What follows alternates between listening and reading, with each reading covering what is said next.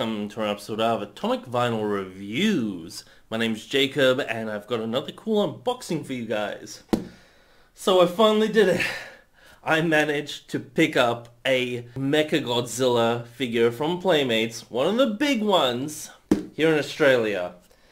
Oh boy, I know in a few other places apparently these things have been out for a while, even in Australia, but for me, they they're not showing up anywhere in stores. So the deal is Kmart are putting out these Playmates figures, and the Godzilla vs Kong figures have been out forever now, but no Mecha Godzillas. I recently managed to actually get one of the smaller versions. They still haven't shown up in physical stores, but they kind of have been showing up online for half reasonable prices here and there. But the big ones was no, nowhere to be seen for a while until they finally showed up on popculcha.com. So if you guys live in Australia and you're trying to find one of these things, that's the place to look at the moment.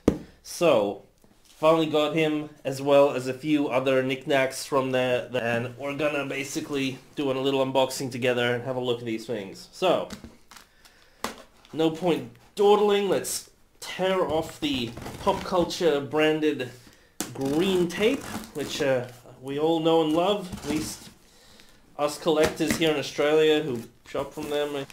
There we go. So I just got a tax invoice for a list of bunch of stuff on it. And the box is open upside down, but that doesn't matter because the first thing we see is, oh, this thing is huge. Yes the Mecha Godzilla itself. Nice. Okay. Instantly. Instantly, I'm much more impressed with this thing than the little 6-inch versions. So this is the giant Mecha Godzilla. I think uh, with the Godzilla and Kong from the movie, they did giant versions, and then they, which are about like 11 inches and or, or 10 inches or something, and then they did the 12 inch or 13 inch like huge version. So I think this is just the kind of the medium version technically. But yeah, still looking really huge, and detail-wise, this thing is looking so much more crisp and nice than the little 6-inch version.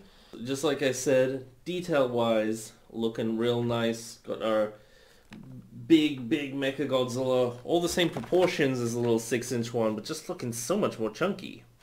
Around the back, got a cool shot of this weird Mecha Godzilla. I'm still, again, like I say in all these videos, kind of on the fence about this Mecha Godzilla design. I kind of feel like it maybe looks a little bit too Michael Bay Transformery. At the same time, there's a lot about this design that I do like.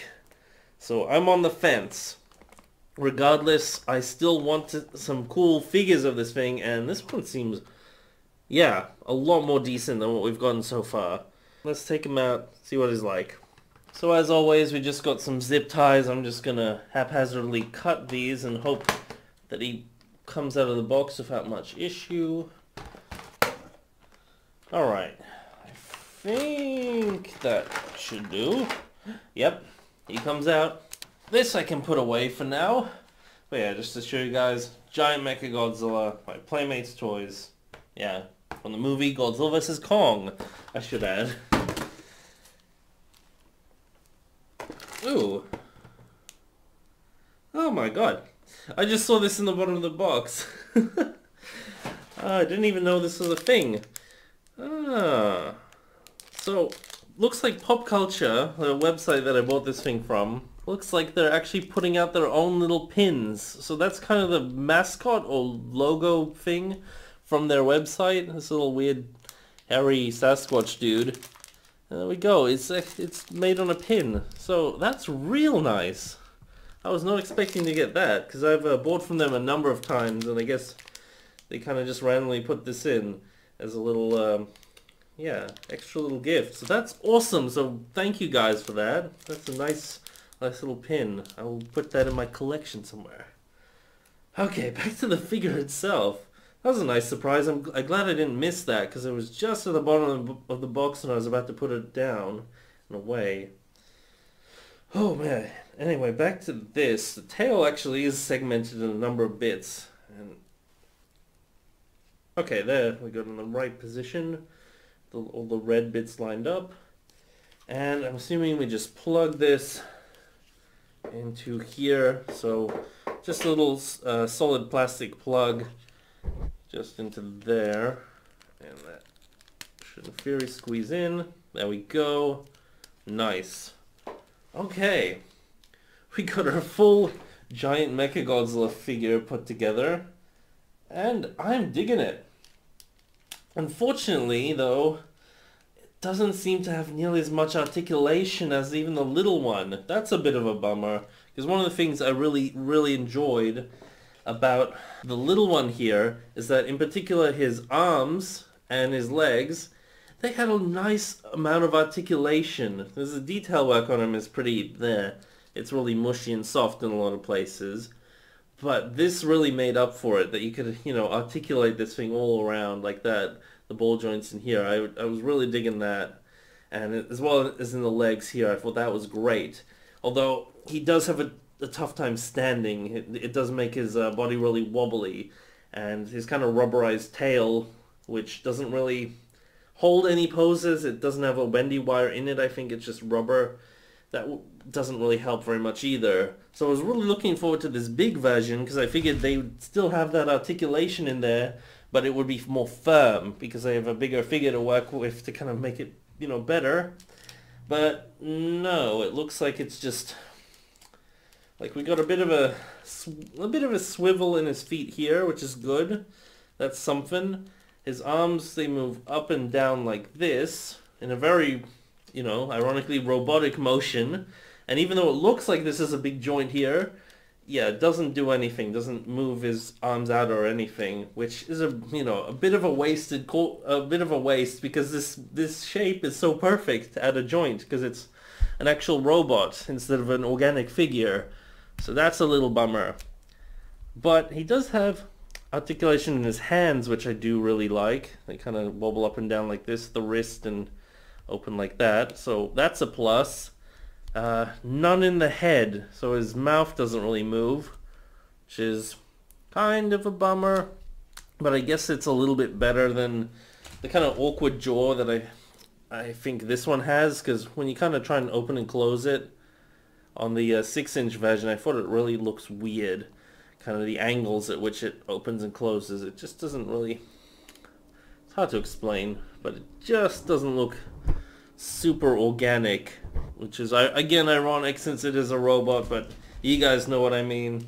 So aside from the fact that there is some articulation kind of wasted potential, let's say, rather than issues, what do I think this thing?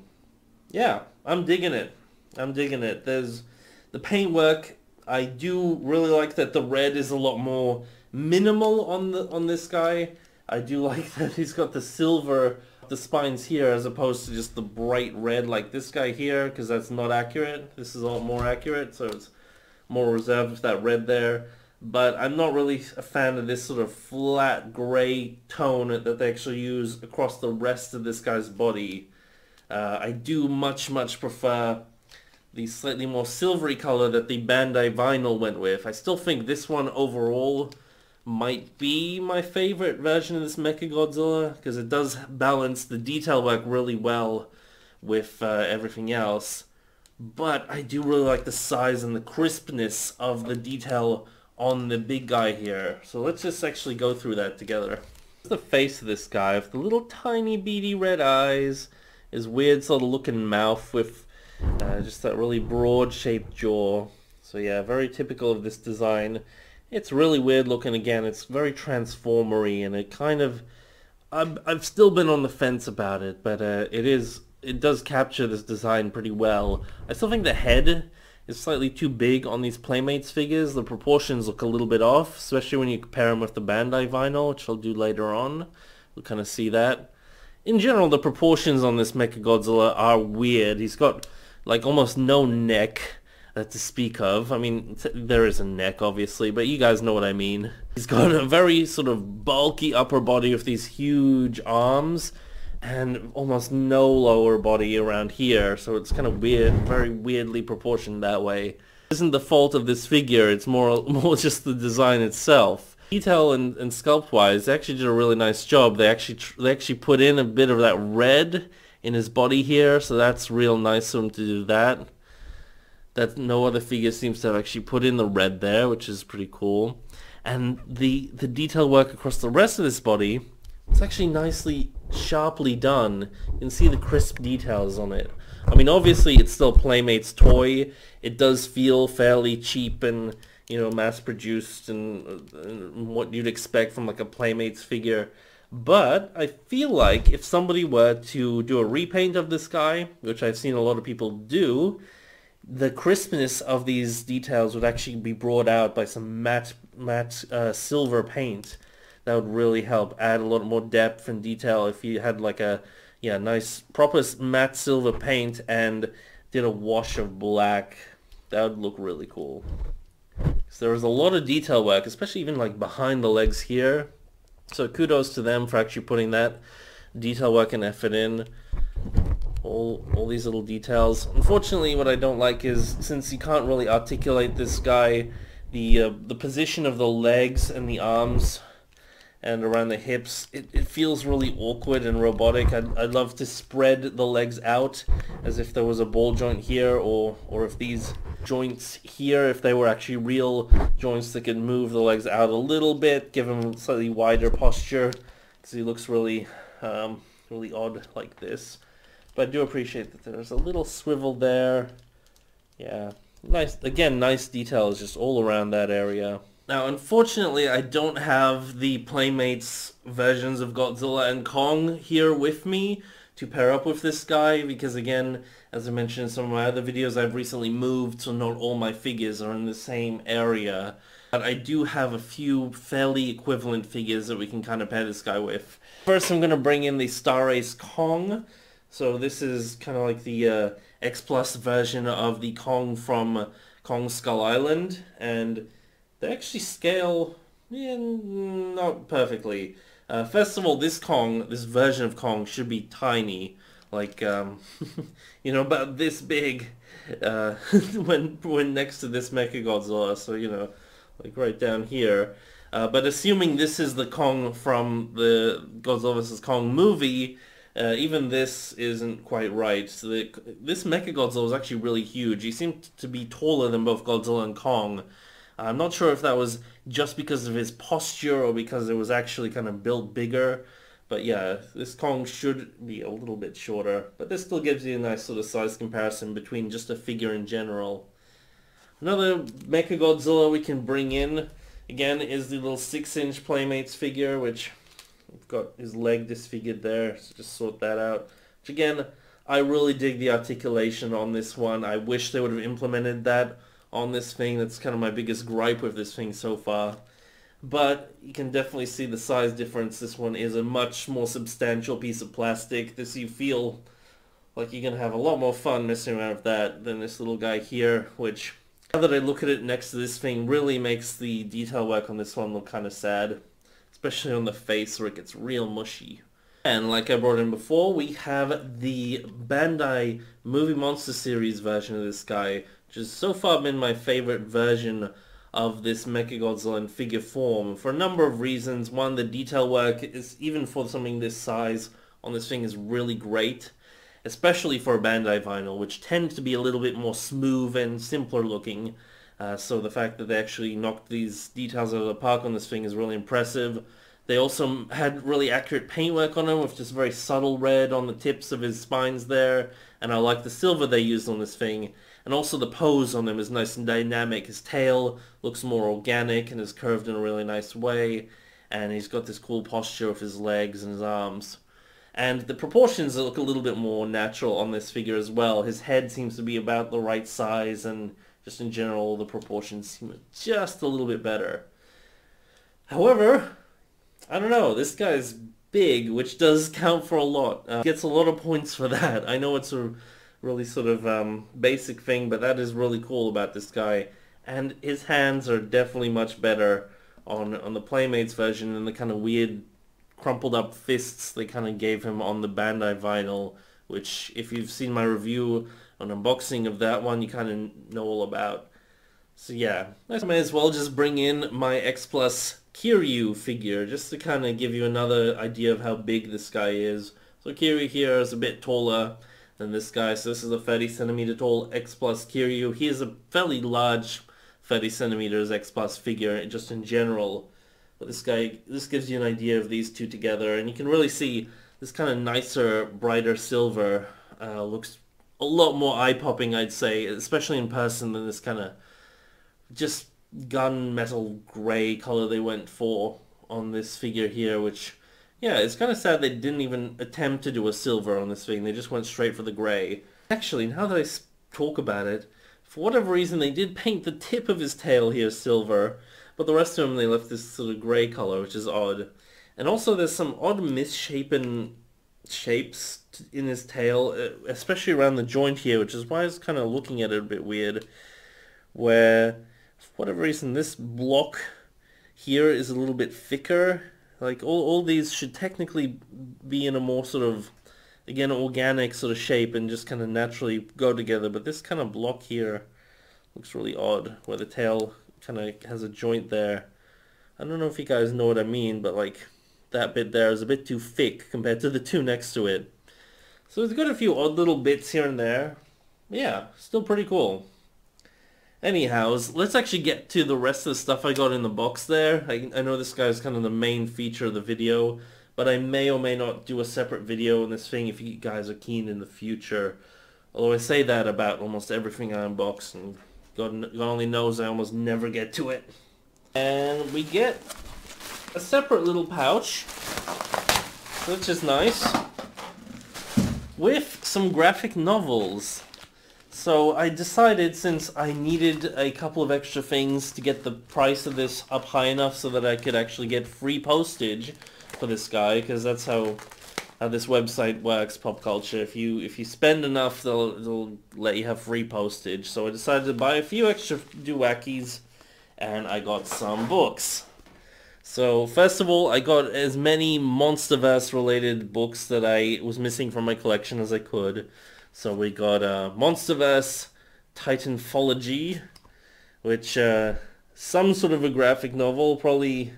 Um, I'm not sure if it's this one or some of these other ones here, but they they should show the backstory of like Godzilla versus Kong. Like the Godzilla and Kong species have some history.